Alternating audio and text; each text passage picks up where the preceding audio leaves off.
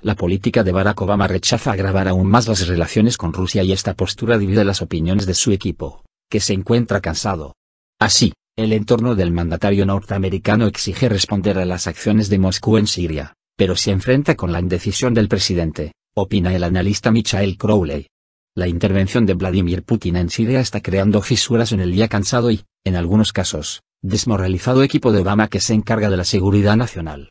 De este modo, los integrantes que abogan por realizar acciones más decididas observan como el presidente se niega, de manera obstinada, a asumir nuevos riesgos poco antes de alcanzar su último año de mandato, afirmó el analista político Michael Crowley en un artículo publicado en la revista Político.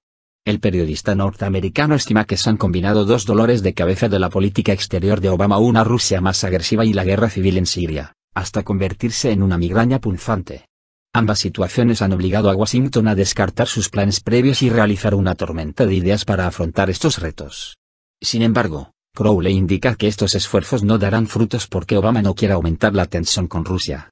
Además, el malestar de la Casa Blanca es mayor por el fracaso del programa del Pentágono para entrenar a los rebeldes sirios. En su momento, el senador estadounidense y presidente del Comité de Servicios Armados del Senado, John Cain, declaró que Barack Obama era el responsable de la falta de liderazgo estadounidense y había fortalecido al presidente ruso, Vladimir Putin, en la región de Oriente Medio. Por su parte, durante una intervención en el canal de televisión CNBC el coronel estadounidense retirado y analista militar, Jack Jacobs, afirmó que los ataques aéreos que, supuestamente, Estados Unidos efectúa desde hace un año contra el Estado Islámico en Siria han sido un fracaso total por lo que Washington debería callarse y no criticar la ofensiva rusa contra esta organización terrorista.